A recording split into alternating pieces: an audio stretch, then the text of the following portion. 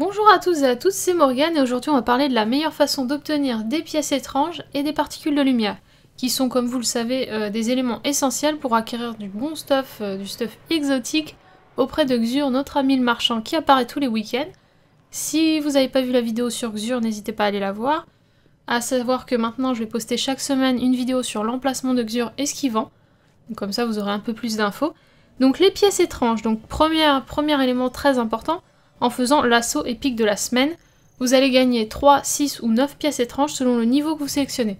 Sachant que vous pouvez le faire qu'une fois, donc si vous faites au niveau minimal, vous ne pourrez pas ensuite gagner les 6 pièces étranges qui restaient à gagner. Donc il faut tout de suite le faire en, difficile, au niveau max, pour avoir les 9 pièces étranges. Chose également intéressante, si vous le faites avec un autre personnage, vous avez à nouveau 9 pièces étranges, donc vous avez moyen d'avoir 18 pièces étranges si vous avez 3 persos qui ont le niveau pour faire l'assaut épique de la semaine en difficile. Donc ça, c'est déjà 18 pièces étranges euh, par semaine. C'est assez, assez cool. Vous allez également en gagner parfois à la fin du PVP. Euh, dans les engrammes rares, ça, ça, arrive assez fréquemment maintenant d'avoir dans les engrammes rares euh, des pièces étranges. Donc si vous cumulez les engrammes rares, notamment avec les assauts du tigre, vous allez facilement arriver, à avoir des pièces étranges. Ou si vous faites la, la nouvelle loot cave que je vous ai présentée il n'y a pas longtemps en vidéo. Euh, également, euh, quand vous faites des événements palior, c'est-à-dire que vous mourrez pas et vous réussissez l'événement, vous pouvez avoir ça en récompense. Vous pouvez également avoir des particules de lumière en récompense de ces événements palior. Également, dans les engrammes rares, des particules de lumière, à nouveau. Le PVP peut vous donner des particules de lumière. Et la petite différence, l'assaut épique du jour peut vous donner des particules de lumière.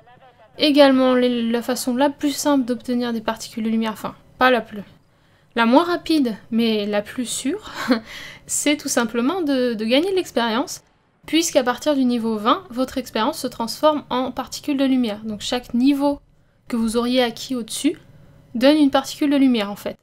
Donc des fois par exemple vous êtes en train de combattre et boum vous avez une particule de lumière. Vous vous demandez d'où ça vient, bah c'est ça.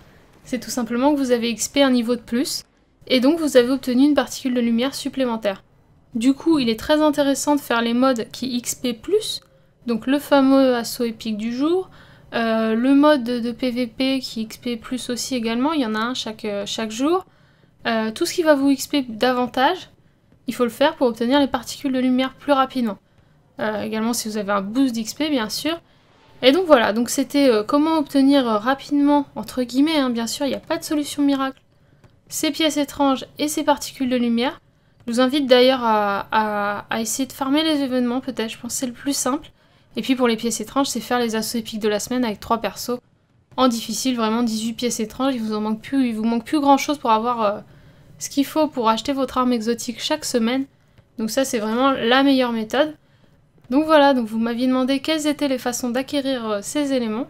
Les voici euh, et, et ben, je vous retrouve très vite sur la chaîne pour d'autres vidéos.